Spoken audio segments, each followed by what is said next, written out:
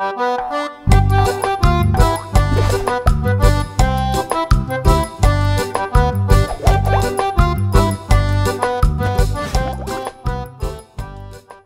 creative ways to use your Eidi.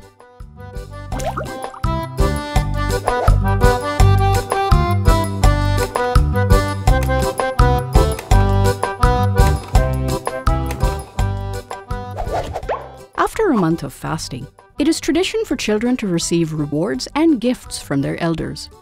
This is what we call Eidi. Parents, older siblings, aunts, uncles, and the auntie who is always more friendly than she means to be will give colorful envelopes of money to children. The idea behind Eidi is to give children the incentive to fast throughout the month. While fasting teaches kids about tolerance, patience, sharing, and caring, we need to create an environment so children maintain this behavior throughout the year. Earning Eidi is great, but it is important that we apply what we learn through fasting in sharing, saving, or investing our Eidi throughout the year. 1. Buy a nice outfit for someone your same age and less fortunate. 2. Buy ice cream for someone your age who you don't know. 3. Buy something nice for the elderly. 4. Feed a stray animal.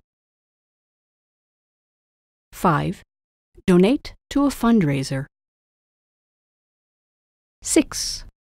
Buy toys for children who are unwell. 7.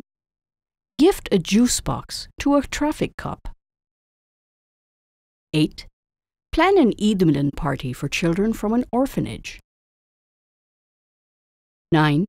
Take your parents out for dinner. And 10. Make your younger sister or brother feel special. Of course, these are only 10 ideas that we have shared with you. And there are so many other ways you can make the most out of your Eidi. Let us know what you do with the Eidi that you receive.